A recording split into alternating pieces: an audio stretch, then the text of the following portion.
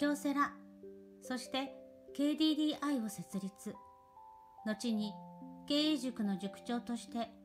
若き経営者の育成に心血を注いだ稲森和夫さんの言葉を著書生き方より抜粋してお届けします。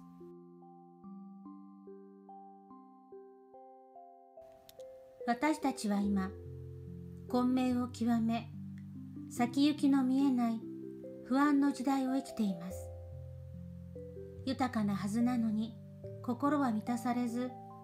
衣食は足りているはずなのに、礼節に乏しく、自由なはずなのに、どこか閉塞感があります。人は何のために生きるのか。この根本的な問い、単純でまっすぐな問いかけに、人間の生き方というものを真正面から捉え、根幹から見据えて、思うところを忌憚なく解いてみたい。生きる意味と人生のあり方を問い直してみたい。そしてそれを時代の急流に打ち込み、ささやかな一本の杭とすることができたなら、生きる喜びを見出し、幸福に満ちた充実した人生を送るための何らかのヒントを得てくださる方がいたのなら、私にはこの上ない喜びです。私たち人間が生きている意味、人生の目的はどこにあるのでしょうか私はやはり真正面からそれは心を高めること魂を磨くことにある答えたいのです。生きている間は欲に迷い惑うのが人間という生き物の差がです。放っておけば私たちは際限なく財産や地位や名誉を欲しがり快楽に溺れかねない存在です。生きている限り衣食が足りていなくてはなりませんし不自由なく暮らしていけるだけのお金も必要です。立身出世を望むことも生きるエネルギーとなるから一概に否定すべきものでもないでしょう。しかしそういうものは現世限りで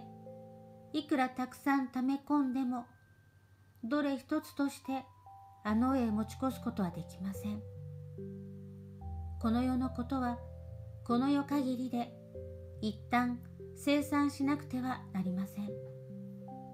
死を迎える時には現世で作り上げた地位も名誉も財産もすべて脱ぎ捨て魂だけ携えて新しい旅立ちをしなくてはならないのです。たった一つ滅びないものがあるとすればそれは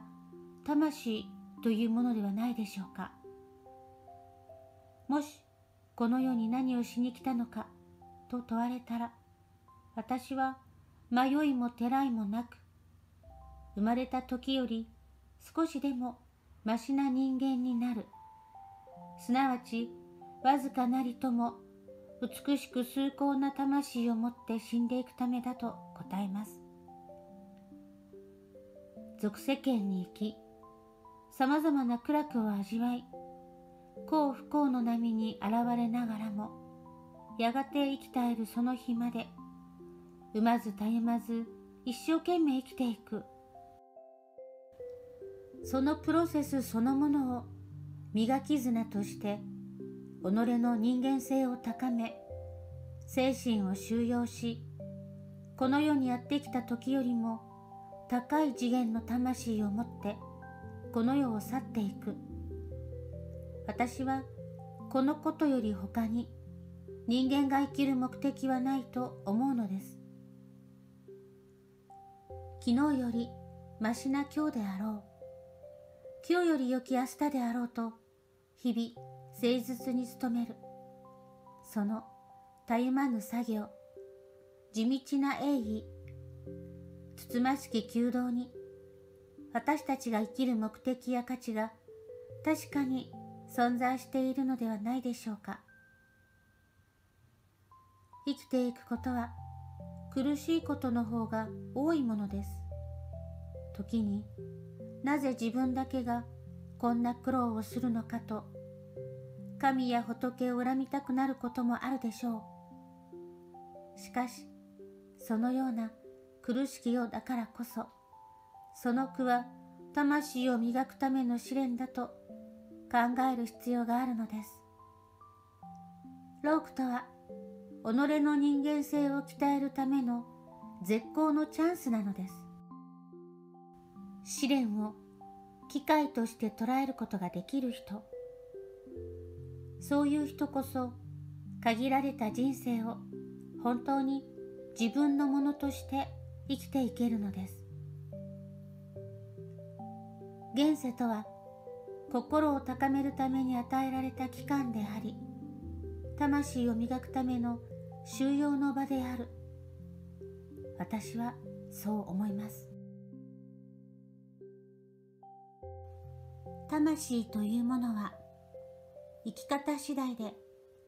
磨かれもすれば曇りもします。どう生きていくかによって私たちの心は気高くもなれば癒しくもなるのです。京セラは私が27歳の時に周囲の方々に作っていただいた会社ですが私は経営の素人で知識も経験もないためどうすれば経営というものがうまくいくのか皆目見当がつきませんでした。困り果てた私はとにかく人間として正しいことを正しいままに貫いていこうと心に決めました。嘘をついてはいけない。人に迷惑をかけてはいけない。正直であれ。欲張ってはならない。自分のことばかりを考えてはならない。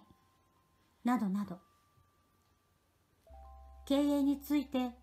無知だったということもありますが一般に広く浸透しているモラルや道徳に反することをしてうまくいくことなど一つもあるはずがないという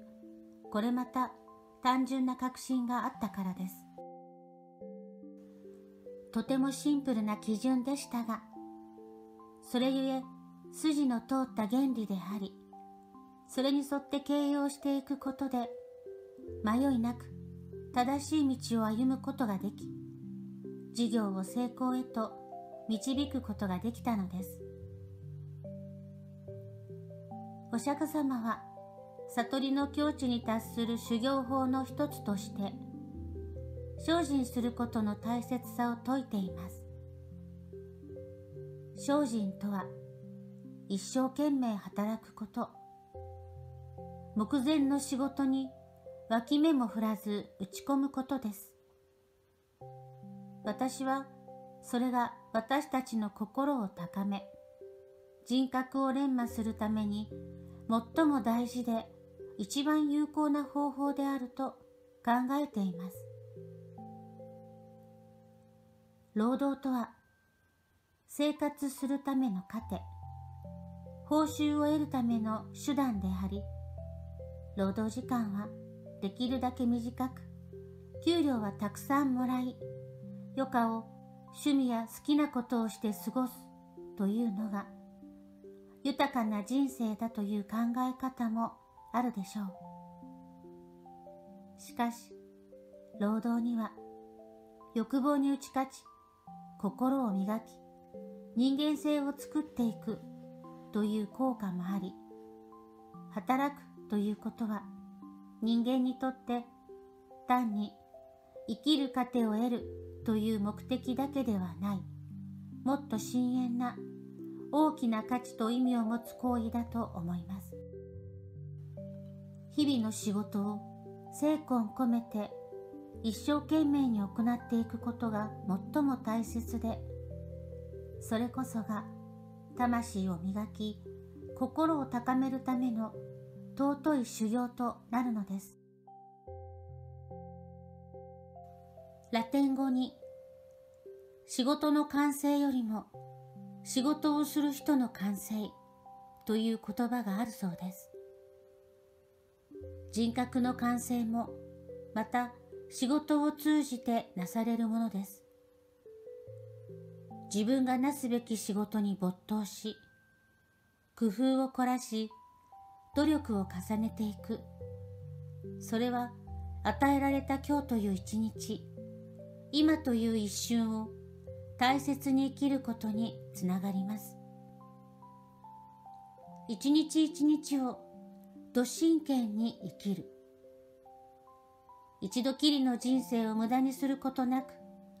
度がつくほど真摯に、真剣に生き抜いていく。そのような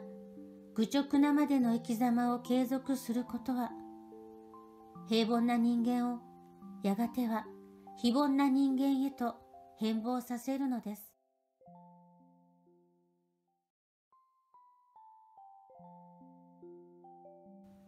前向きで建設的であること、感謝の心を持ち、みんなと一緒に歩もうという協調性を有していること、明るく肯定的であること、善意に満ち思いやりがあり、優しい心を持っていること、努力を惜しまないこと、樽を知り、利己的でなく強欲ではないこと、これらのように良い心がけを忘れず、持てる能力を発揮し、常に情熱を傾けていく。それが人生に大きな果実をもたらす秘訣であり、人生を成功に導く王道だと思います。なぜなら、それは宇宙の法則に沿った生き方だからです。仏教には思念が業を作るという教えがあります。業とはカルマとも言い、現象を生み出す原因となるものです。思ったことが原因となり、その結果が現実となって現れてくる。だから考える内容が大切で、その想念に悪いものを混ぜてはいけないと説いています。人生は心に描いた通りになる。強く思ったことが現象となって現れてくる。まずはこの宇宙の法則をしっかりと心に刻みつけてほしいのです。思ったことがすぐに結果に出るわけではないので分かりづらいかもしれませんが20年30年といった長いスパンで見ていくと大抵の人の人生はその人自身が思い描いた通りになっているものです。まずは純粋で綺麗な心を持つことが人間の生き方を考える上で大前提となります。なぜなら良い心、特に世のため人のためという思いは宇宙が本来持っている意志であると考えられるからです。宇宙にはすべてを良くしていこう、進化発展していこうという力の流れが存在しています。それは宇宙の意志と言っても良いものです。この宇宙の意志が生み出す流れにうまく乗れれば人生に成功と繁栄をもたらすことができ、流れから外れてしまうと没落と衰退が待っているのです。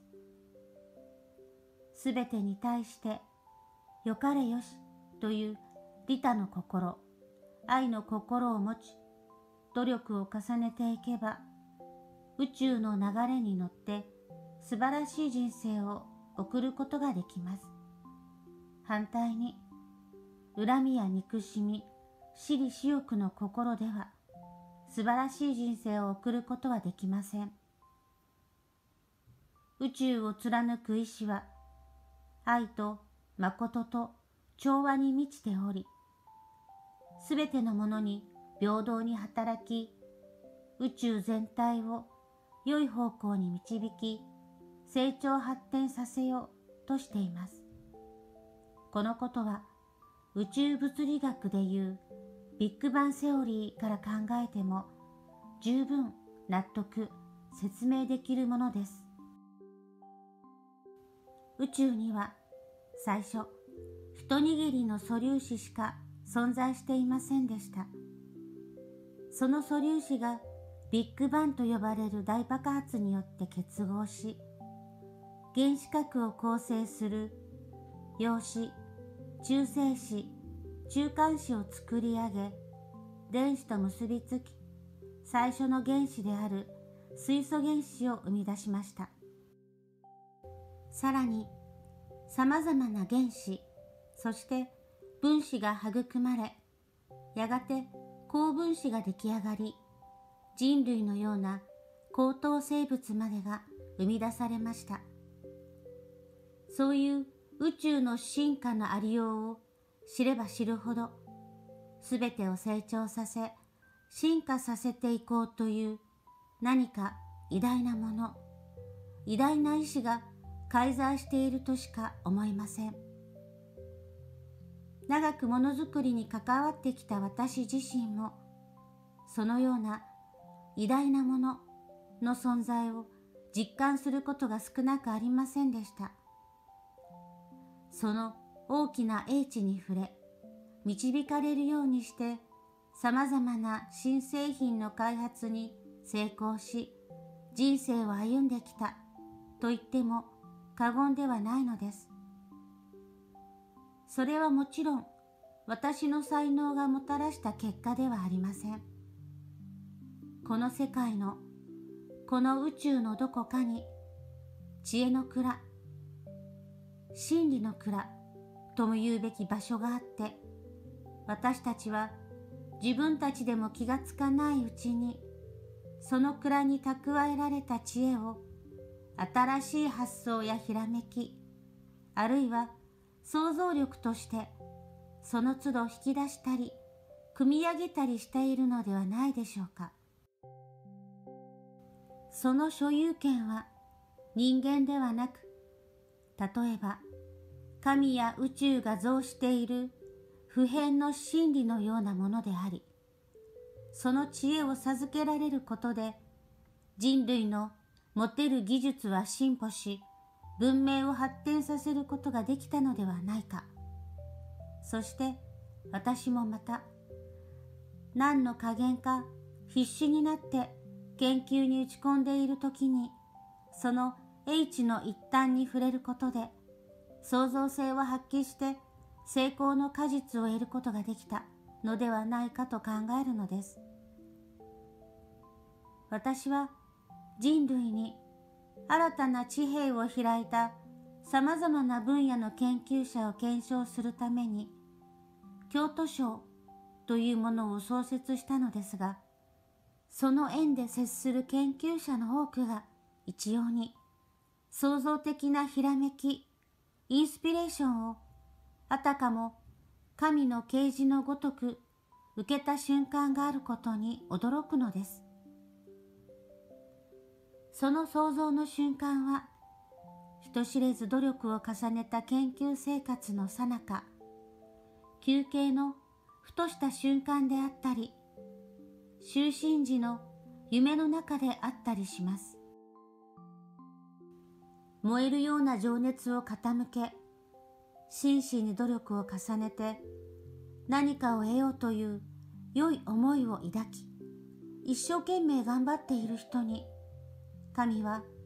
行く先を照らす松明を与えるように知恵の蔵から一筋の光明を授けてくれるのではないでしょうかそう考えないと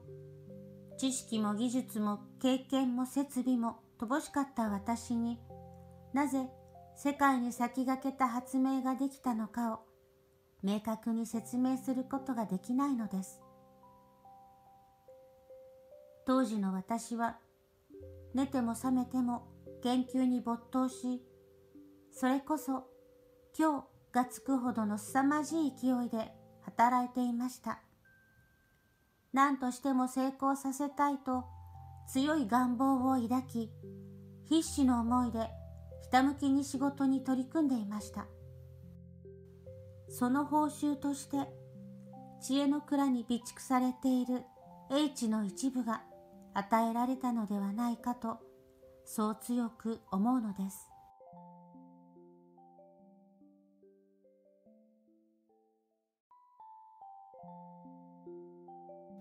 人生は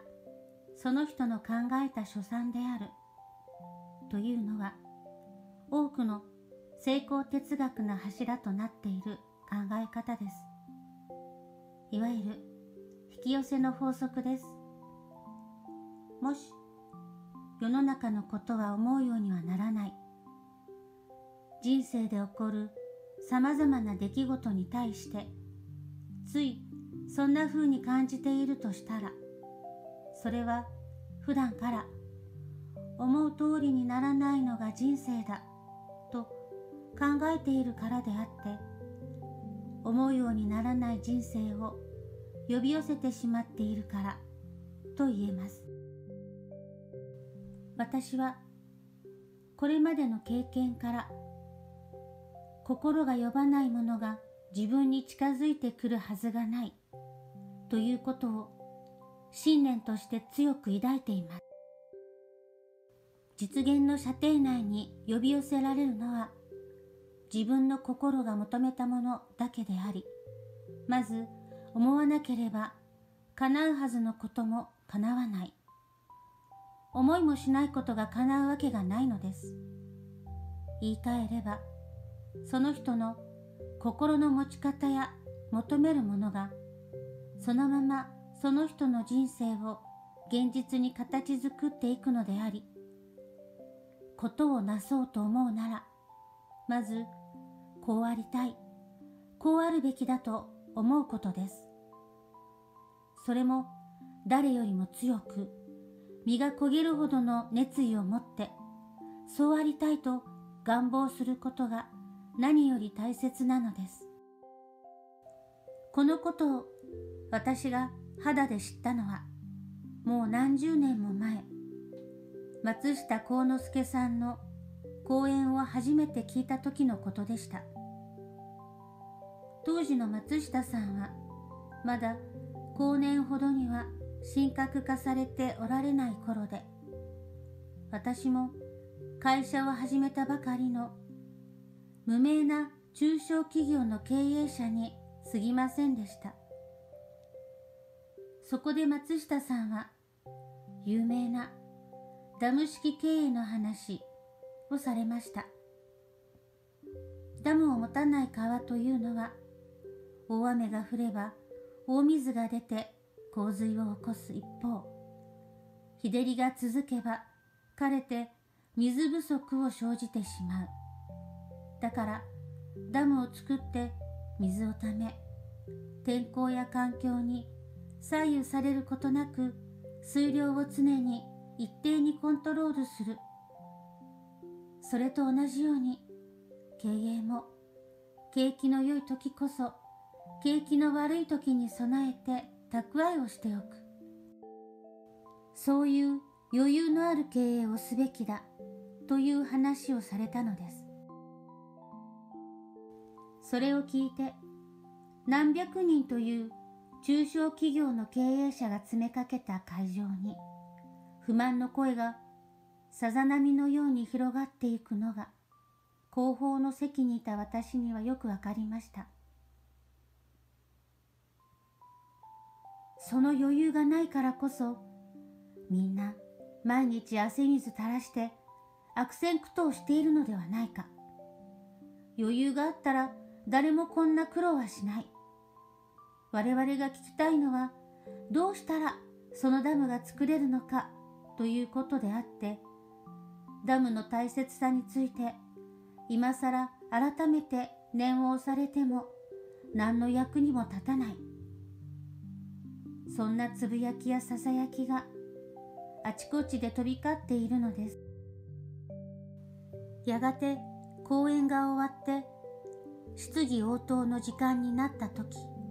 ある男性が立ち上がり、不満をぶつけました。ダム式経営ができれば確かに理想です。しかし現実にはそれができない。どうしたらそれができるのかその方法を教えてくれないことには話にならないじゃないですか。これに対し松下さんはその温和な顔に苦笑を浮かべてしばらく黙っておられました。それからポツンとそんな方法は私も知りませんのや。知りませんけどもダムを作ろうと思わんと飽きまへんなとつぶやかれたのです。今度は会場に失笑が広がりました。答えになったとも思えない松下さんの言葉にほとんどの人は失望したようでした。しかし私は失笑もしなければ失望もしませんでした。それどころか体に電流が走るような大きな衝撃を受けて半ば呆然と顔色を失っていました。松下さんのその言葉は私にとても重要な真理を突きつけていると思えたからです。思わんと飽きまへんな。この松下さんのつぶやきは私にまず思うことの大切さを伝えていたのです。ダムを作る方法は人それぞれだからこうしろと一律に教えられるものではない。しかしまずダムを作りたいと思わなくてはならない。その思いがすべての始まりなのだ。松下さんはそう言いたかったに違いありません。つまり心が呼ばなければやり方も見えてこないし成功も近づいてこない。だからまず強くしっかりと願望することが重要である。そうすればその思いが起点となって最後には必ず成就する。誰の人生もその人が心に描いた通りのものである。思いはいわば種であり人生という庭に根を張り幹を伸ばし花を咲かせ実をつけるための最も最初のそして最も重要な要因なのである。折に触れて見え隠れしながら私たちの人生を貫くこの真理を。私はその時の松下さんのためらいがちなつぶやきから感じ取りまたその後の実人生から真実の経験則として学び体得していったのです。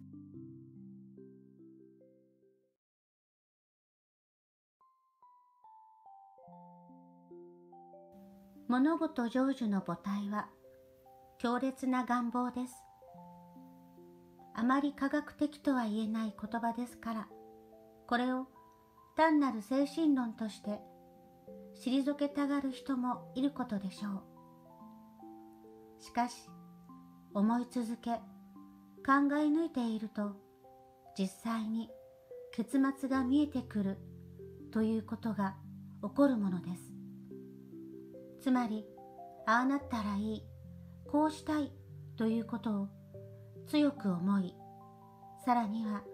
強く思うだけでなくその実現へのプロセスを頭の中で真剣に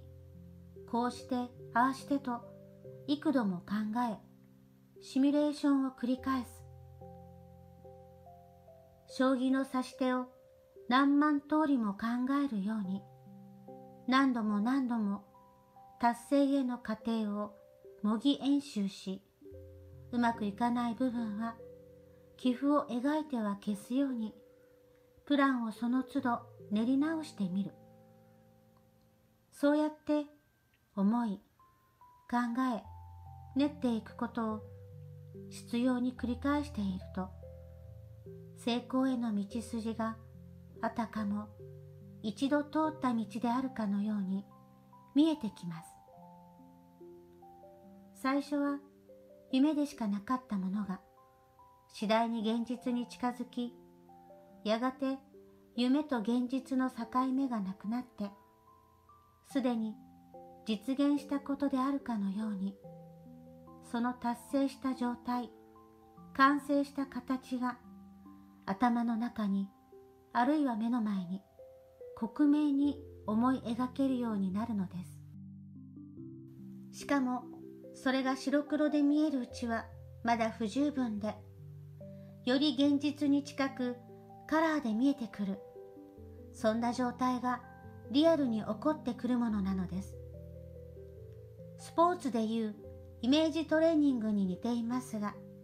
イメージもギリギリまで濃縮すると現実の結晶が見えてくるものなのです。逆に言えばそういう完成形がくっきりと見えるようになるまで事前に物事を強く思い深く考え真剣に取り組まなくては独創的な仕事や人生での成功はおぼつかないということです。例えば新しく開発した製品でも求められる仕様性能などの必要条件がクリアしていればよいというわけではありません。最初に考え抜いて見えた理想とする水準にまで達していない製品はいくら基準を満たしていても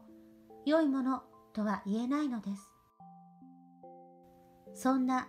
無難な水準の製品では市場に広く受け入れられることはありません。私自身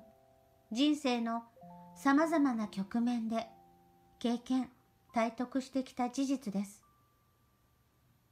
携帯電話事業を始めた時も考えて考えて考え抜いて携帯電話という無限の可能性を秘めた製品がどれぐらいのスピードでどう普及していくか。またどのぐらいの値段や大きさでマーケットに流通するのか。そのイメージが事前にくっきりと見えていました。契約料やサービス料金などあらゆる数字もかなりの精度で予想することができたので当時の担当部長から神がかりとしか思えない呆れられたほどでしたがそれが見えるということなのです。もちろんこのことは仕事に限ったことではありません。人生において何かをなそうとするときにも常に理想形を目指してやるべきでそのためのプロセスとして見えるまで考え抜く。つまり思いの強さを持続することが必要になってくるのです。そうして隅々まで明瞭にイメージできたことは間違いなく成就するのです。すなわち見えるものはできるし見えないものはできない。したがってこうありたいと願ったならあとは凄まじいばかりの強さでその思いを凝縮して強烈な願望へと高め成功のイメージが克明に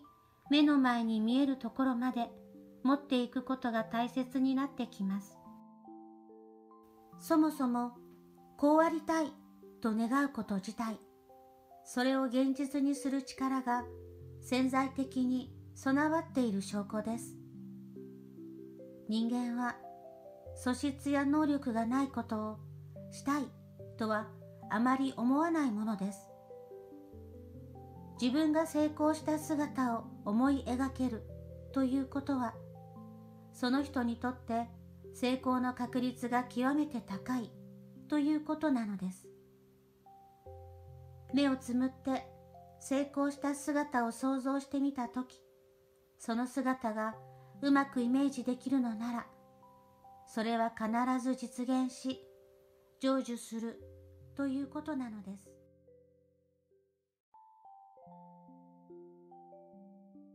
これまで人生は心のありようでいかようにも変えられるという人が生きるための大原則について述べてきましたが実は私の人生は失敗と挫折の連続で何度も痛い目に遭いながらその法則を思い知らされたというのが実情なのです。若い頃の私といえばやることなすことことごとくうまくいかずこういう方向に行きたいと希望して叶うことは一度もありませんでした。どうして自分の人生はうまくいかないのかなんて運の悪い男だと天に見放されたように思い不平不満を募らせ世を拗ねたり恨んだりしたことも再三ありました。そんな砂鉄を繰り返すばかりの人生の中で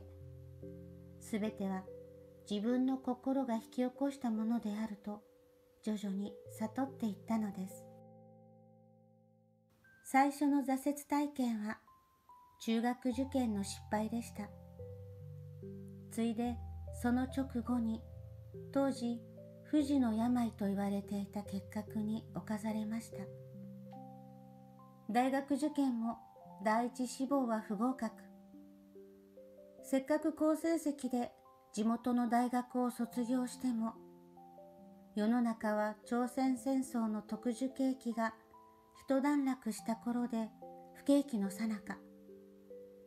就職試験は何度も落ちました。どうして自分という人間はこうもついていないのだ。たとえ宝くじを買っても私の前後は当たって私だけは外れだろ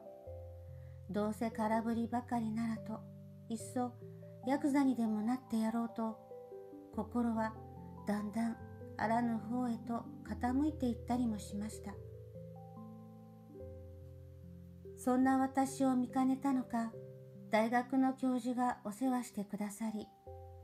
京都の外資製造メーカーへ潜り込むことができました。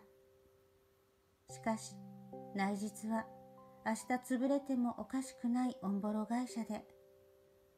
給料の支配は当たり前おまけに経営者一族の内輪もめまで起こっていました。せっかく入った会社がそういう状態なので私は同期入社の数人と顔を合わせては愚痴と不満をこぼし合い毎日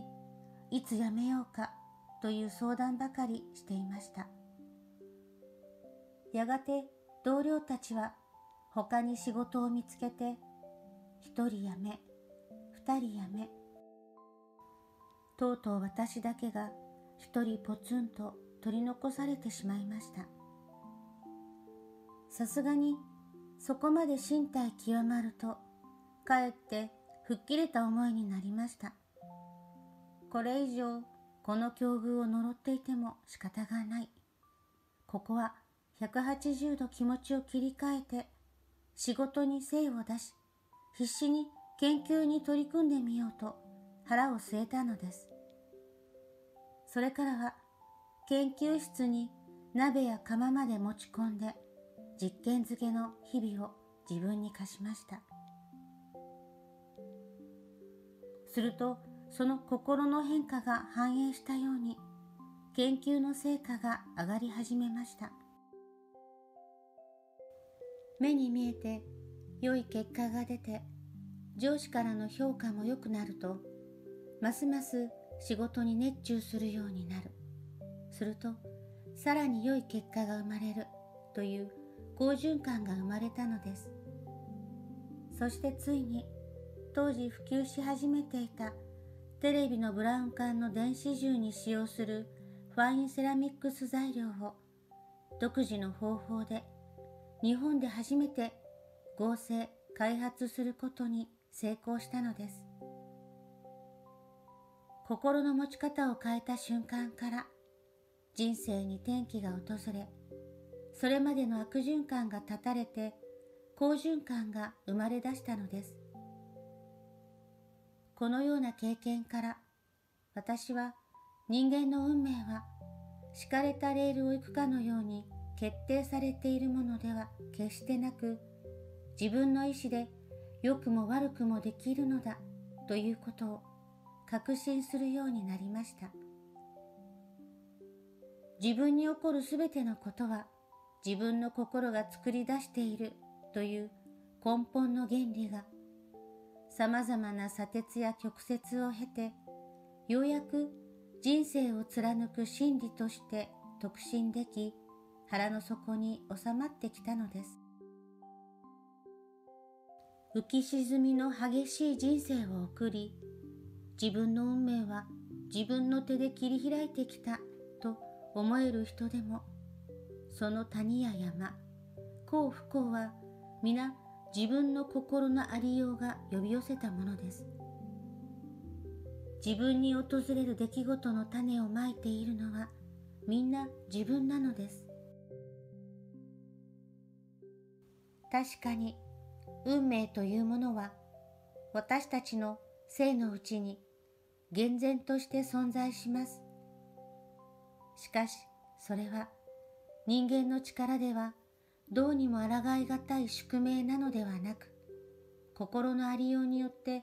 いかようにも変えていけるものです。運命を変えていくものはただ一つ私たちの心であり人生は自分で作るものです。思いという絵の具によって人生のキャンバスにはその人だけの絵が描かれる。だからこそあなたの心の様相次第で人生の色彩はいかほどにも変わってゆくのです。新しいことを成し遂げられる人は自分の可能性をまっすぐに信じることができる人です。可能性とは、つまり未来の能力のこと。現在の能力でできる、できないを判断してしまっては、新しいことや困難なことはいつまでたってもやり遂げられません。自分の可能性を信じて現在の能力水準よりも高いハードルを自分に課しその目標を未来の一点で達成すべく全力を傾ける。その時に必要なのは常に思いの火を絶やさずに燃やし続けるということです。それが成功や成就につながり、またそうすることで私たちの能力というのは伸びていくものなのです。一見無理だと思える高い目標にもひるまず情熱を傾けひたむきな努力研鑽を惜しまないそのことが私たちの能力を自分自身でもびっくりするほど伸長させる。眠っていた大きな潜在能力を開花させるのです。できないことがあったとしても、それは今の自分にできないだけであって、将来の自分になら可能であると未来進行形で考えることが大切です。まだ発揮されていない力が眠っていると信じるべきなのです。遺伝子学の第一人者である筑波大学名誉教授の村上和夫先生はいわゆる火事場の馬鹿力に関してとてもわかりやすい解説をしておられます。極限状況で発揮される人間の力がなぜ普段は眠っているのか。それはそうするための遺伝子の機能が通常はオフになっているからで、このスイッチがオン状態になれば、普段でも火事場の馬鹿力を発揮することは可能だというのです。そして、その潜在力をオンにするには、プラス発想や積極思考など、前向きの精神状態や心の持ち方が大きく作用していると言います。思いの力が私たちの可能性を大いに広げてくれるということが遺伝子レベルで解明され始めているわけです。ちなみに、どれくらいのことが人間に可能なのか。人間の頭でこれをしたい、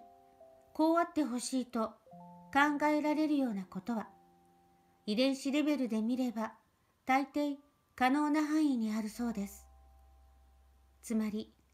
思ったことは叶えられる能力が私たちの中には潜在しているのです。もちろん、志を高く持つことと同様に、目標の実現に向かって一歩一歩積み重ねる地道な努力を欠かすことはできません。京セラがまだ町工場だった頃から、当時は100人に満たなかった社員に向かって、私は繰り返し、この会社を必ず世界一の会社にするぞと大言相互していました。それは遠い夢物語でしたが、必ず成し遂げてみせると心に強く抱いた願望でもありました。しかし、目はいくら空の高いところを見ていても、足は地面を踏むことしかできません。夢や望みはいかに高くても、現実には来る日も来る日も地味で単純な仕事をこなすので精一杯でした。昨日の仕事の続きを1ミリでも1センチでも前に進めるために汗をかきながら一生懸命目の前に横たわる問題を一つ一つ片付けることに追われるうちに一日が暮れてしまう。こんなことを毎日繰り返していて世界一になるのは一体いつの日のことか。夢と現実の大きな落差に打ちのめされることもしばしばありました。けれども結局のところ人生とはその今日一日の積み重ね今の連続に他なりません今この一秒の集積が一日となりその一日の積み重ねが一週間、一ヶ月、一年となって気がついたらあれほど高く手の届かないように見えた山頂に立っていたというのが私たちの人生の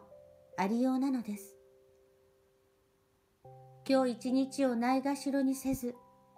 懸命に真剣に生きていけば明日は自然に見えてきます。その明日をまた懸命に生きれば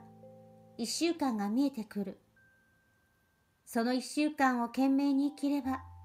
一ヶ月が見えてくる。つまり、ことさら先を見ようとしなくても、今という瞬間瞬間に全力を傾注して生きることによって、その時見えなかった未来の姿がやがて自然に見えるようになってくるものです。私もまさにそういう亀のような歩みでした。地味な一日の集積と継続によっていつしか会社も大きくなり私を現在の位置にまで到達させたのです。ですからいたずらに明日を患ったり将来の見通しを立てることに救急とするよりも、まずは今日一日を充実させることに力を注いだ方がいい。それが結局、夢を現実のものとする最善の道なのです。中にはつい今日一日をじっくり生きる亀の歩みをいとい、ダットのごとく最短距離を行きたくなる才能ある人もいるかもしれません。しかし、こう焦るあまり、思わぬところで足を取られることもまた少なくないのです。京セラにもこれまで優秀で利発な人間がたくさん入社してきましたが、この会社には将来がないと辞めていきました。しかし、残ってくれた人材が10年後、20年後には各部署の幹部となりリーダーとなっていく。そういう例も随分見てきました。たとえ平凡な人材だとしても、一つのことを飽きずに黙々と努める力、今日一日を懸命に生きる力が非凡に変えたのです。継続の力が平凡を非凡に変えたのです。安易に近道を選ばず、一歩一歩、一日一日を懸命、真剣、地道に積み重ねていく。夢を現実に変え、思いを成就させるのは、そういう非凡なる凡人なのです。ただし、継続が大切だと言っても、それが同じことを繰り返すことであってはなりません。継続と反復は違います。昨日と同じことを漫然と繰り返すのではなく、今日よりは明日、明日よりは明後日と、少しずつでいいから、必ず改良や改善を付け加えていくこと。そうした創意工夫する心が成功へ近づくスピードを加速させるのです。どんなに小さなことにも工夫改良の気持ちを持って取り組んだ人とそうでない人とでは長い目で見ると驚くほどの差がついているものです。昨日の努力に少しの工夫と改良を上乗せして今日は昨日よりもわずかながらでも前進する。そのより良くしようという姿勢を怠らないことが後に大きな差となって現れてくる。決して通い慣れた同じ道は通らないということが成功に近づく秘訣なのです。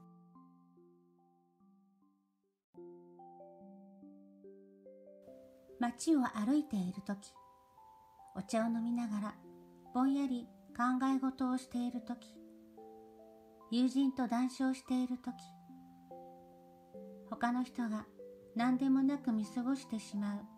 何気ない場面の些細な出来事から不意に夢を叶えるためのアイデアやヒントがひらめくことがあります。同じものを見聞きしてもある人はそこから重要なヒントを得るがある人はぼんやり見過ごしてしまうその違いは何にあるのかといえば日頃の問題意識です優位注意という言葉があります。意を持って意を注ぐこと。つまり目的を持って真剣に意識や神経を対象に集中させることです。例えば音がして反射的にそちらをパッと向く。これは無意識の生理的な反応ですから、いわば無意注意です。優位注意はあらゆる状況のどんな些細な事柄に対しても自分の意識を意図的に凝集させることです。思想家の中村天風さんはこの意をもって意を注ぐことの重要性を強調され優位注意の人生でなければ意味がないとまで言われています。私たちの集中力には限界がありますから常に意識を一つのものに集めることは難しいのですがそうであるように心がけているとだんだんとこの優位注意が習慣化されて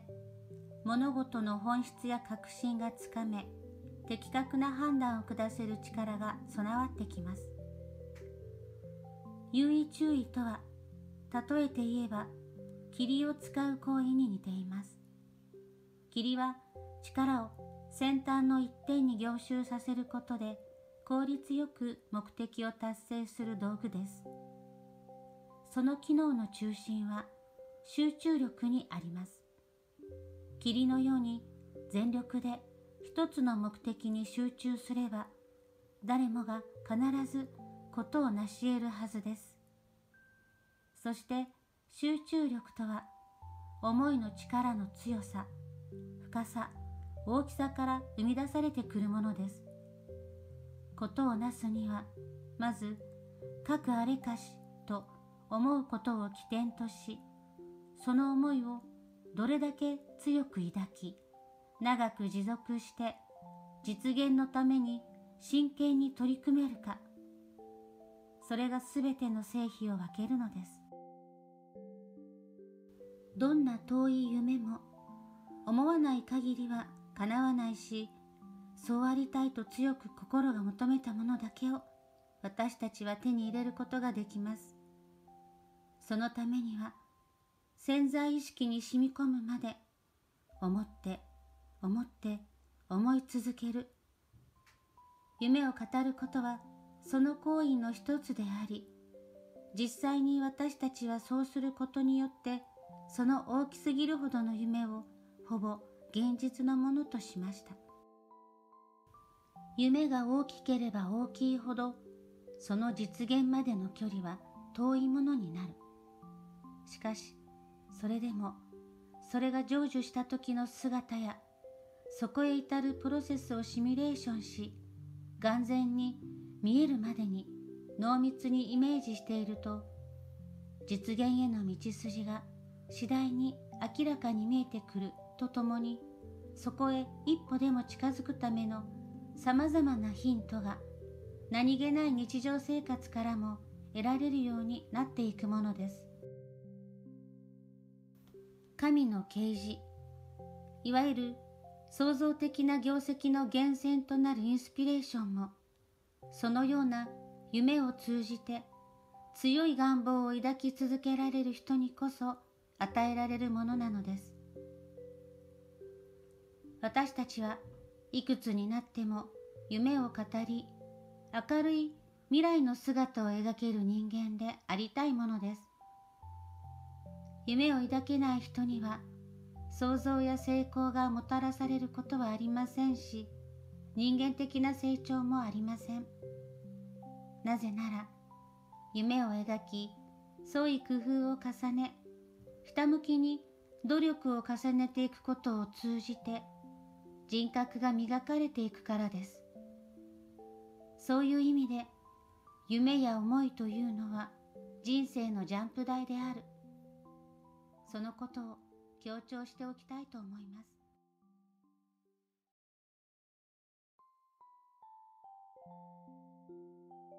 私たちはともすると物事を複雑に考えすぎてしまう傾向があります。しかし物事の本質は実は単純なものです。一見複雑に見えるものでも単純なものの組み合わせでできています。人間の遺伝子は30億という気の遠くなるような数の塩基配列からできているそうですがそれを表す文字の種類はたった4つに過ぎません。真理の布は一本の糸によって織られているさまざまな事象は単純にすればするほど本来の姿すなわち真理に近づいていきます。複雑に見えるものほどシンプルに捉え直そうという考え方や発想が大切なのです。27歳で京セラを始めた時、私にはセラミックスの技術者として多少のキャリアはありましたが、会社経営については知識も経験も全くありませんでした。一体どうしたらいいのだろう。私は悩みました。そしてその末に行き着いたのは原理原則ということでした。人間として何が正しいのかという極めてシンプルなポイントに判断基準を置き、それに従って正しいことを正しいままに貫いていこうと考えたのです。人生も経営も同じ原理や原則に即して行われるべきだし、またその原理原則に従ったものであれば、大きな間違いをしなくて済むだろう。そうシンプルに考えたのです。それゆえ、迷うことなく、正々堂々と経営を行うことができるようになり、その後の成功にもつながっていったのです。人生を歩んでいく途上では、至るところで決断や判断を下さなくてはいけない場面が出てきます。仕事や家庭、就職や結婚に至るあらゆる局面において、私たちは絶えず様々な選択や決断をしなくてはなりません。どの道を選び、どう行動すればいいのか迷い、悩み、苦しみ、困った時に、経験と実践から生み出された生きた哲学、原理原則が判断基準となってくれます。指針なき選択は、海図を持たない後悔のようなものであり、哲学不在の行動は、等価もなしに暗い夜道を進むようなものです。哲学といって分かりにくければ、自分なりの人生観、倫理観、あるいは理念や道徳と言い換えてもよいでしょう。そうしたものが、いわば生きる基軸となり、迷った時に立ち返るべき原点として機能します。日本がバブルで湧いていた時も、永遠と蓄積してきた多額の現預金を持っている京セラに対して不動産投資への誘いが随分ありました。中には私がその旨味を理解していないかのように思ったのか儲けの仕組みを今節丁寧に教えてくださった銀行の人もいました。しかし私は土地を右から左へ動かすだけで多大な利益が発生するなんてそんなうまい話があるはずがない。あるとすれば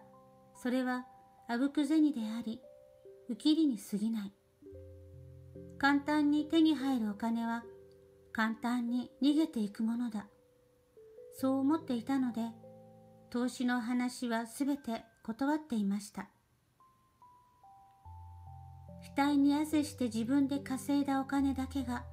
本当の利益なのだ。私にはそんな極めて単純な信念がありました。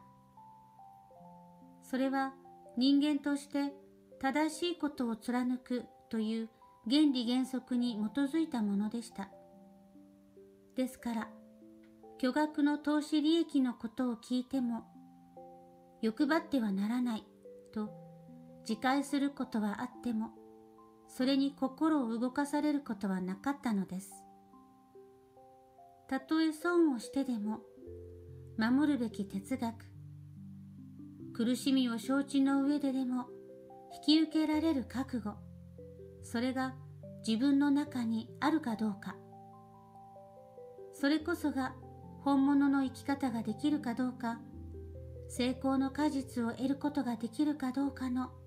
分水嶺になるのではないでしょうか。ただそうは言っても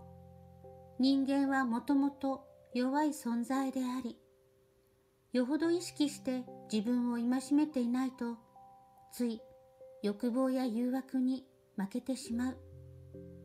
これもまた事実です。かなり以前のことですが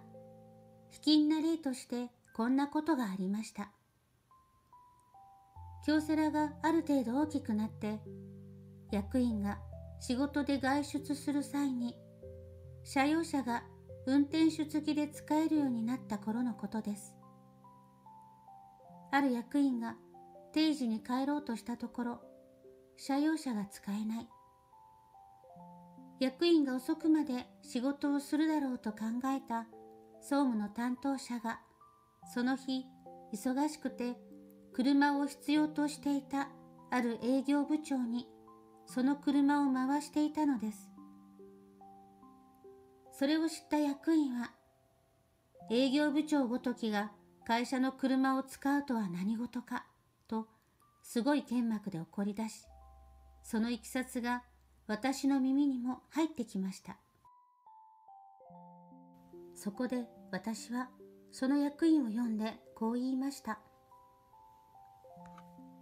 役員で偉いから車が使えるわけではない。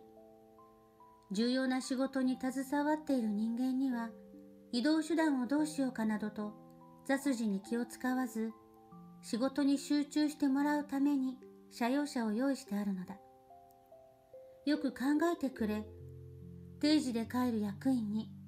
忙しく走り回っている部長を怒鳴る資格があるのか？役員に優先権があったとしてもそれはあくまでも会社の車であって自分の車ではない。それが原則であり道理です。しかし組織の中にあって高い地位に上り詰めるとその当たり前のことがなかなか見えなくなってくるのです。かくいう私にも同じような経験がありました。創業期京セラの車用車はスクーターでした。しかも二輪車ですから私は自分でそれを運転していました。そのうちスバル360という小型車を買うことができた。これも当初は自分で運転していたのですが運転中もずっと仕事のこと会社のことばっかり考えていて危ないので運転手を雇うことにしたのです。やがてもっと大きな車に買い替え運転手付きで会社への行き帰りを送迎してもらうこともできるようになった頃ある朝車で家に迎えに来てもらった際に妻も所用で出かけるということがありました。私は気軽についでだから途中まで乗っていけと声をかけたところ妻はそれはできませんと断ってきたのです。あなたの車なら乗せてももらいますがそれは会社の車でしょう。ついでだからといって車用車を使用で使ってはならないと以前あなた自身がおっしゃっていましたよ。講師のけじめは厳しくつけろって。ですから私は歩いていきます。一本取られた形で、これは家内の言うことの方が正しい。私は大いに反省しました。これらはささやかな例ですが、何事も。言うは安く行うは堅しで実行していくのは容易なことではありません。それだけに原理原則はそれを強い意志で貫かなくては意味がないのです。つまり原理原則というものは正しさや強さの源泉である一方絶えず戒めていないとつい忘れがちな脆いものでもあります。だからこそいつも反省する心を忘れず自分の行いを自制自戒することまたそのことさえも生きる原理原則に組み入れていくことが大切なのです。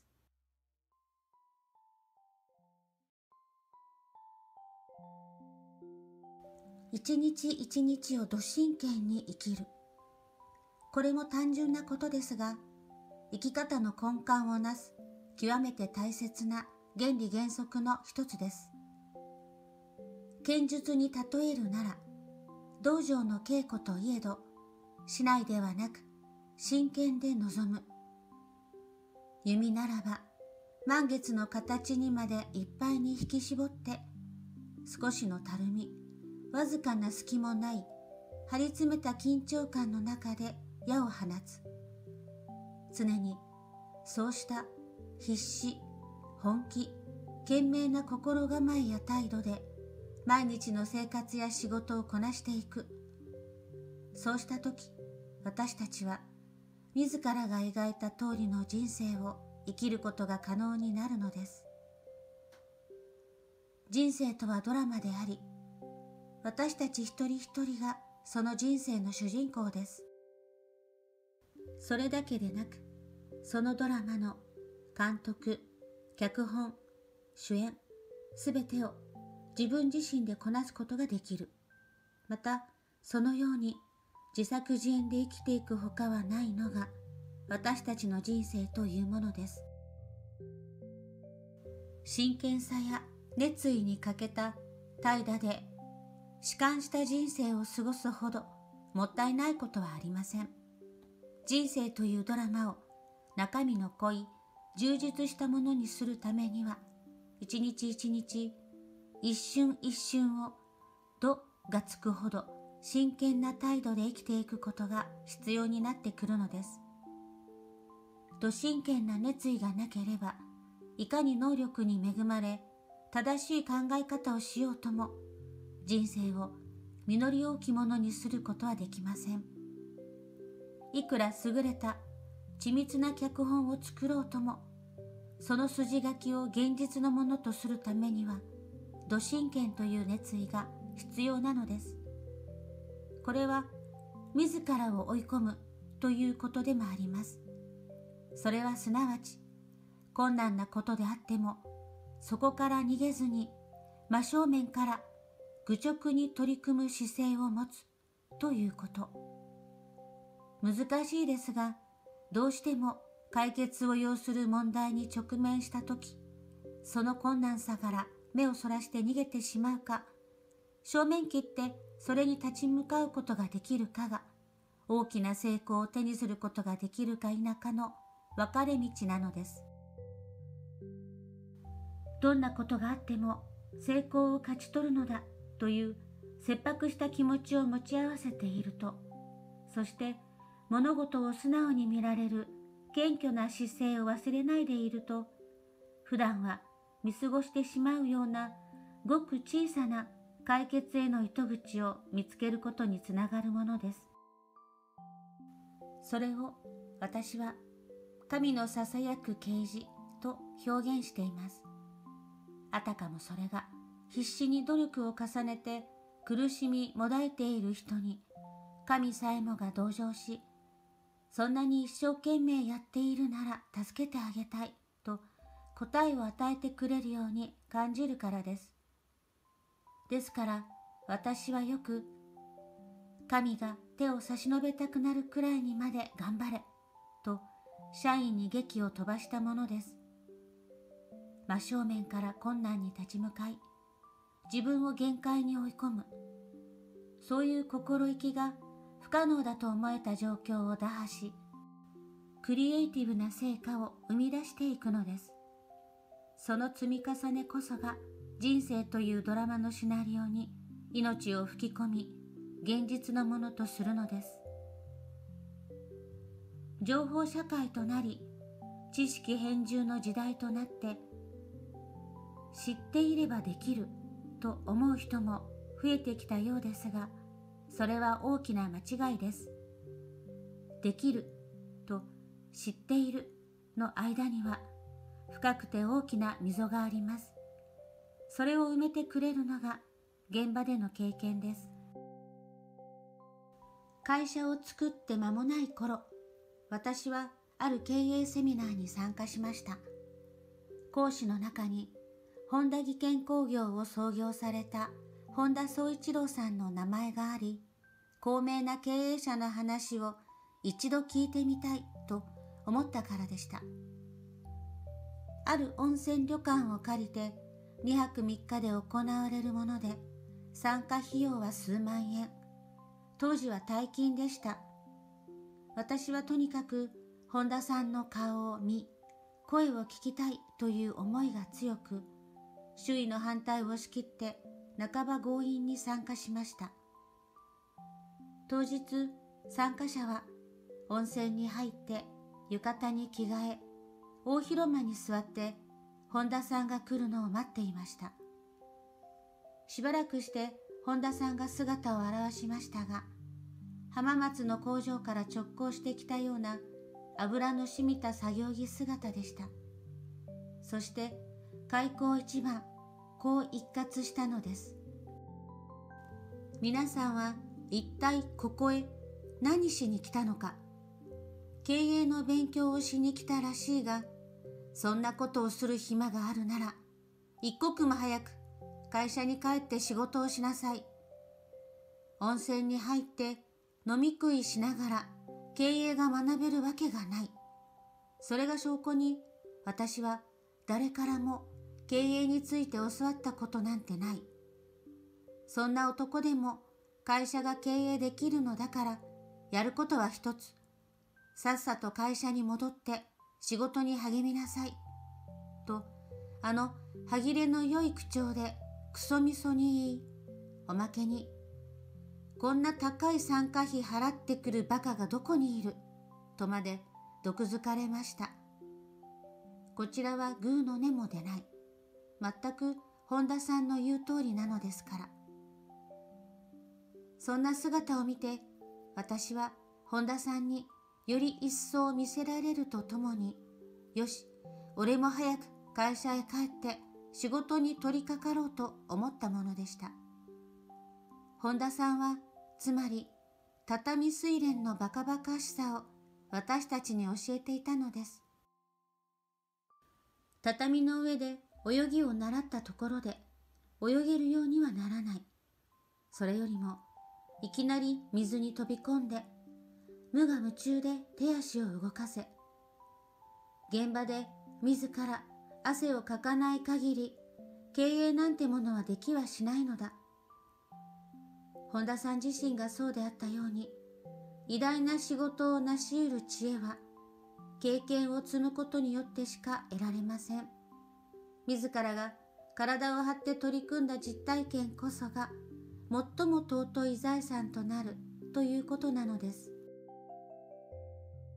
目先の功をいたずらに焦らず、日々の地道な仕事に真剣に向き合い、今日一日を懸命に生きることによっておのずと明日も見えてくるそうした充実した一日の連続が5年経ち10年経つうちに大きな成果に結実する。私はそう考え肝に銘じながらこれまで経営を行ってきました。その結果今日を完全に生きれば明日が見える。ことを人生の真理として体得することができたのです。そもそも私たちの生命、私たちの人生は価値ある偉大なものです。その価値ある人生をただ無意途然に過ごすのはもったいないことである以上に宇宙の意に反した生き方でもあります。天地自然はこの宇宙で必要であるからこそ私たちを存在させています。誰一人何一つ偶然に生を受けたものはなく、従って無駄なものはこの世には一切ありません。大宇宙から見れば一人の人間の存在など本当にちっぽけなものかもしれませんしかしどれほど小さなものであろうと我々は皆必然性があってこの宇宙に存在しているどのように小さな取るに足らない生命といえどもまた無生物であろうとも宇宙が価値があると認めているからこそ存在しているのです。今この時を懸命に生きる自然の小さな営みもその大切さを無言のうちに私たちに教えています。例えば北極圏のツンドラ地帯では短い夏の間に多くの植物が一斉に芽吹きできるだけ多くの花を咲かせ種を作ってごく短い生涯を精一杯濃密に生きようとします。そうすることで長い冬に備え次世代へ自分たちの命を託そうとしているのでしょう。まさに雑念も余念もなくただひたすらに今を生き切ろうとしているのです。私たち人間も草花に負けず一日一日をないがしろにすることなく土真剣に生きていかなくてはなりません。それが私たちをこの世に生み出しその性を価値あるものとしてくれた宇宙との約束事でしょうし人生というドラマを思い通りに充実して生きるための必要条件でもあると思います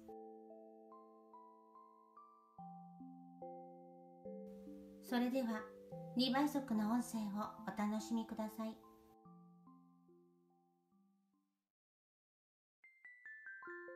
そして TBDI を設立。後に経営塾の塾長として若き経営者の育成に心血を注いだ稲森和夫さんの言葉を著書生き方より抜粋してお届けします。私たちは今、混迷を極め、先行きの見えない不安の時代を生きています。豊かなはずなのに心は満たされず、衣食は足りている。はずなのに伝説に乏しく、自由なはずなのに、どこか閉塞感があります。人は何のために生きる。のか、この根本的な問い、単純でまっすぐな問いかけに、人間の生き方というものを真正面から捉え、根幹から見据えて、思うところを忌憚なく解いてみたい。生きる意味と人生のあり方を問い直してみたい。そして、それを時代の急流に打ち込み、ささやかな一本の杭とすることができたら、生きる喜びを見出し、幸福に満ちた充実した人生を送るための何らかのヒントを得てくださる方がいたのな、私にはこの上ない喜びです。私たち人間が生きている意味、人生の目的はどこにあるのでしょうか私はやはり真正面から、それは心を高めること、魂を磨くことにあると答えたいのです。生きている間は欲に迷い、惑うのが人間という生き物の差です。放っておけば私たちは際限なく財産や地位や名誉を欲しがり、快楽に溺れかねない存在です。生きている限り、衣食が足りていなくてはなりませんし、不自由なく暮らしていけるだけのお金も必要です。立身出世を望むことも生きるエネルギーとなるから一概に否定すべきものでもないでしょう。しかし、そういうものは現世限りで、いくらたくさん溜め込んでも、どれ一つとしてあの世を持ち越すことはできたら、生きている限りで、一旦生産しなくてはなりません、死を迎える時には、現世で作り上げた地位も、名誉も、財産も、すべて脱ぎ捨て、魂だけ携えて、新しい旅立ちをしなくてはならないのです。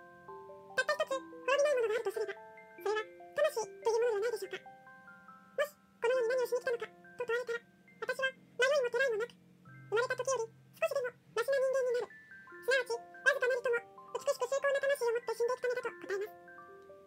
俗世間に行き、様々な苦楽を味わい、幸不幸の波に現れながらも、やがて生き絶えるその日まで、産まずたゆまず一生懸命生きていく。そのプロセスそのものを磨き綱として、己の人間性を高め、精神を収容し、この世にやってきた時よりも高い次元の魂を持って、この世を去っていく。私は、このことより他に、人間が生きる目的はないと思うのです。昨日よりマシな今日であろう。今日より良き明日であろうと、日々誠実に努める。その、たゆまぬ作業、地道な営義、つつましき求道に、私たちが生きる目的や価値は、確かに存在しているのではないでしょうか。生きていくことは、苦しいことの方が多いものです。時に、なぜ自分だけがこんな苦労をするのかと、神や仏を恨みたくなることもあるでしょう。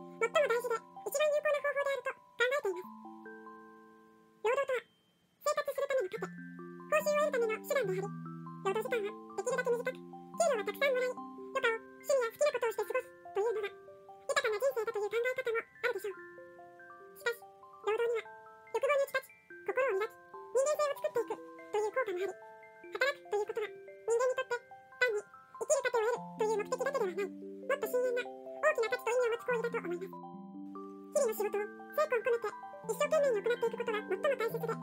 それこそが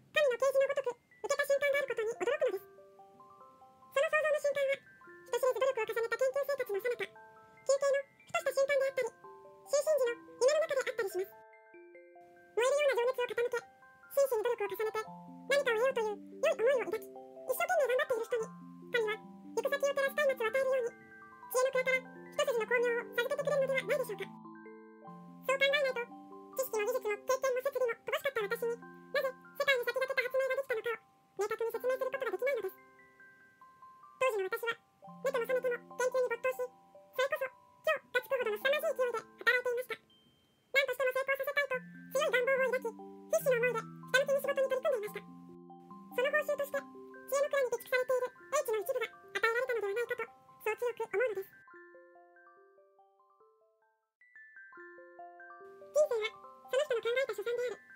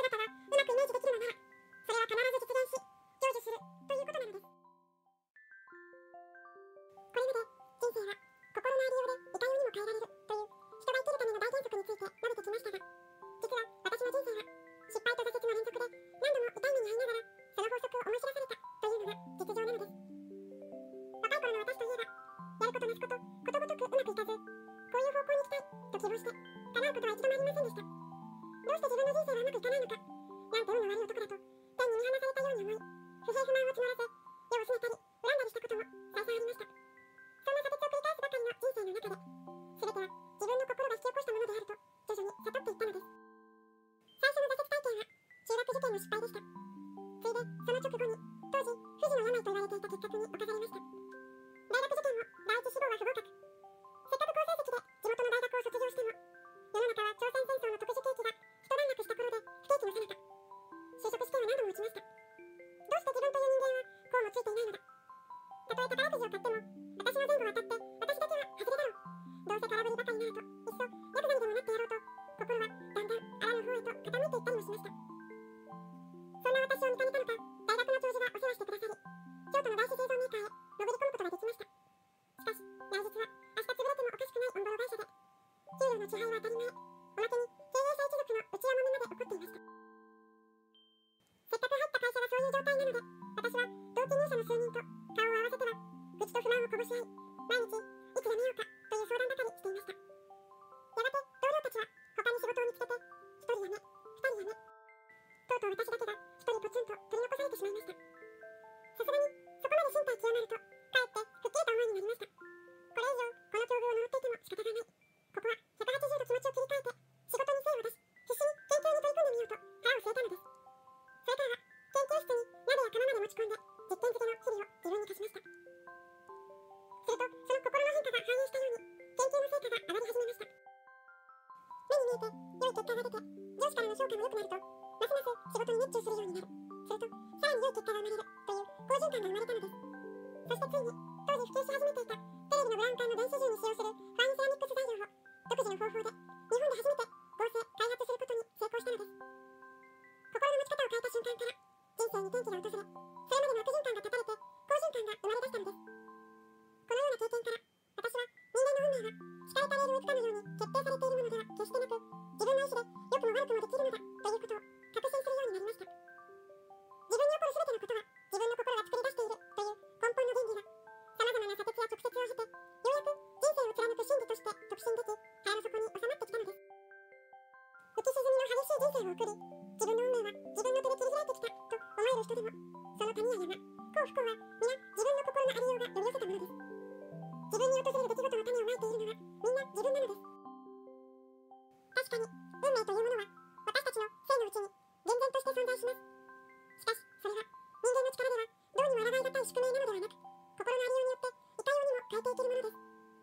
運命を変えていくものはただ一つ私たちの心であり人生は自分で作るものです。思いという絵の具によって人生のキャンバスにはその人だけの絵が描かれる。だからこそあなたの心の様相次第で人生の色彩はいかほどにも変わっていくのです。新しいことを成し遂げられる人は自分の可能性をまっすぐに信じることができる人です。可能性とはつまり未来の能力のこと。現在の能力できるできないを判断してしまっては新しいことや困難なことはいつまでたってもやり遂げられません。自分の可能性を信じて現在の能力水準よりも高いハードルを自分に課しその目標を未来の一点で達成すべく全力を傾けるその時に必要なのは常に思いの火を絶やさずに燃やし続けるということですそれが成功や成就につながりまたそうすることで私たちの能力というのは伸びていくものなのです一見無理だと思える高い目標にもひるまず情熱を傾けひたむきな努力研鑽を惜しまないそのことが私たちの能力を自分自身でもびっくりす。るほど伸長させる眠っていた大きな潜在能力を開花させるのです。できないことがあったとしてもそれは今の自分にできないだけであって将来の自分になら可能であると未来進行形で考えることが大切です。まだ発揮されていない力が眠っていると信じるべきなのです。遺伝子学の第一人者である筑波大学名誉教授の村上和夫先生はいわゆる火事場のバカ力に関してとてもわかりやすい解説をしておられます。極限状況で発揮される人間の力がなぜ普段は眠っているのかそれはそうするための遺伝子の機能が通常はオフになっているからですこのスイッチがオン状態になれば普段でも火事場のバカ力を発揮することが可能だというのです。そしてその潜在力をオンにするにはプラス発想や積極思考など前向きな精神状態や心の持ち方が大きく作用していると言います。思いの力が私たちの可能性を大いに広げてくれるどれくらいのことが人間に可能なのか人間の頭でこれをしたいこうあってほしいと考えられるようなことは遺伝子レベルで見れば大抵可能な範囲にあるそうです。つまり思ったことは叶えられる能力が私たちの中には潜在しているのです。もちろん志を高く持つことと同様に目標の実現に向かって一歩一歩積み重ねる地道な努力を欠かす。ことはできません京セラがまだ町工場だった頃から当時は100人に満たなかった社員に向かって私は繰り返しこの会社を必ず世界一の会社にす。るぞと幻想としていましたそれは遠い夢物語でしたが必ず成し遂げてみせると心に強く抱いた願望でもありました。しかし目はいくら空の高いところを見ていても足は地面を踏むことしかできません。夢や望みはいかに高くても現実には苦しも苦しも地味で単純な仕事をこなすので精一杯でした。昨日の仕事の続きを1ミリでも1センチでも前に進めるために汗をかきながら一生懸命目の前に横たわる問題を一つ一つ片付けることに追われるうちに一日が暮れてしまう。こんなことを毎日繰り返していて、世界一になるのは一体いつの日のことか。夢と現実の大きな落差に打ちのめされることもしばしばありました。けれども、結局のところ、人生とは、その今日一日の積み重ね、今の連続に他なりません。今、この1秒の集積が1日となり、その1日の積み重ねが1週間、1ヶ月、1年となって、気がついたら、あれほど高く手の届かないように見えた山頂に立っていた、というのが、私たちの人生の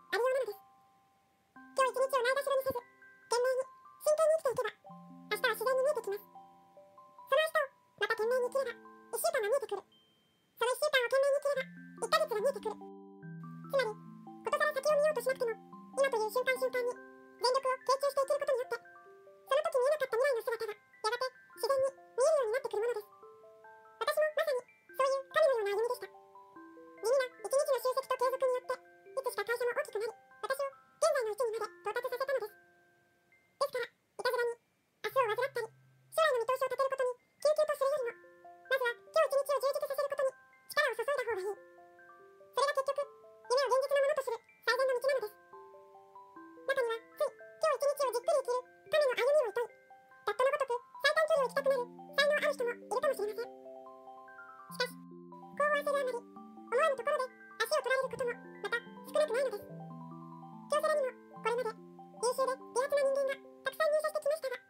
この会社には将来がないと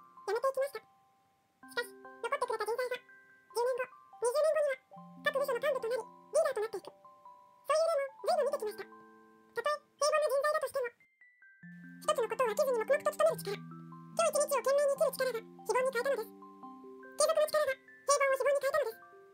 安易に近道を選ばず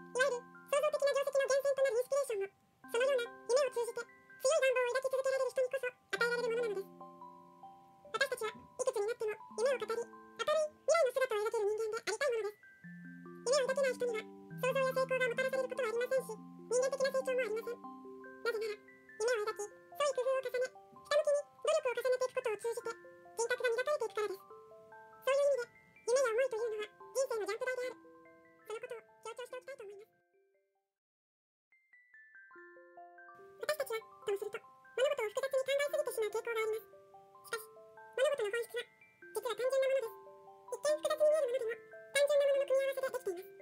人間の遺伝子は30億という気の遠くなるような数の塩基配列からできているそうですがそれを表す文字の種類はたった4つに過ぎません真理の布は一本の糸によって織られているさまざまな事象は単純にすればするほど本来の姿。すなわち真理に近づいていきます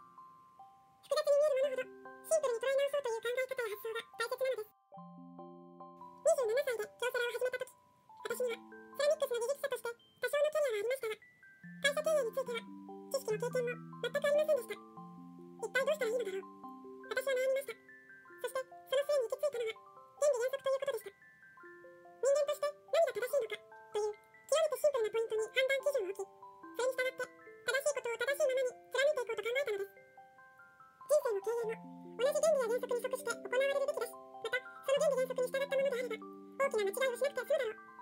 そうシンプルに考えたのです。それゆえ迷うことなく正々堂々と経営を行うことができるようになりその後の成功にもつながっていったのです。人生を歩んでいく途上では至る所で決断や判断を下さなくてはいけない場面が出てきます。仕事や家庭就職や結婚に至るあらゆる局面において私たちは絶えずさまざまな選択や決断をしなくてはなりません。どの道を選びどう行動すればいいのか迷い悩み苦しみ困った時に経験と実践から生み出された生きた哲学原理原則が判断基準となってくれます指針なき選択は大事を持たない後悔のようなものであり哲学不在の行動は等価もなしに暗い夜道を進むようなものです哲学といって分かりにくければ自分なりの人生観倫理観あるいは理念や道徳と言い換えてもよいでしょうそうしたものがいわば生きる基軸となり迷った時に立ち返るべき原点として機能します日本がバブルで湧いていた時も永遠と蓄積してきた多額の現預金を持っている京セラに対して不動産投資への誘いが随分ありました中には私がその旨味を理解していないかのように思ったのか儲けの仕組みを今節丁寧に教えてくださった銀行の人もいましたしかし私は土地を右から左へ動かすだけで多大な利益が発生するなんてそんなうまい話があるはずがない。あるとすればそれはあるく銭であり生きるに過ぎない。簡単に手に入るお金は簡単に逃げていくものだ。そう思っていたので投資の話は全て断っていました。額に汗して自分で稼いだお金だけが本当の利益なのだ。私にはそんな極めて単純な信念がありました。それは人間として正しいことを貫くという原理原則に基づいたもの。でしたですから巨額の投資利益のことを聞いても欲張ってはならないと自戒することはあってもそれに心を動かされることはなかったのですたとえ損をしてでも守るべき哲学苦しみを承知の上ででも引き受けられる覚悟それが自分の中にあるかどうか。それこそが本物の生き方ができるかどうか成功の果実を得ることができるかどうかの分水嶺になるのではないでしょうかただそうは言っても人間はもともと弱い存在でありよほど意識して自分を戒めていないとつい欲望や誘惑に負けてしまうこれもまた事実ですかなり以前のことですが危険な例としてこんなことがありました京セラがある程度大きくなって役員が仕事で外出する際に社用車が運転手付きで使えるようになった頃のことですある役員が定時に帰ろうとしたところ社用車が使えない。役員が遅くまで仕事をするだろうと考えた総務の担当者がその日忙しくて車を必要としていたある営業部長にその車を回していたのですそれを知った役員は営業部長ごときが会社の車を使うとは何事かとすごい天幕で怒り出しそのいきさつが私の耳にも入ってきましたそこで私はその役員を呼んでこう言いました役員で偉いから車が使えるわけではない重要な仕事に携わっている人間には移動手段をどうしようかなどと背筋に気を使わず仕事に集中してもらうために車用車を用意してあるのだよく考えてくれ。ページで買う役員に忙しく走り回っている部長を名乗る資格があるのか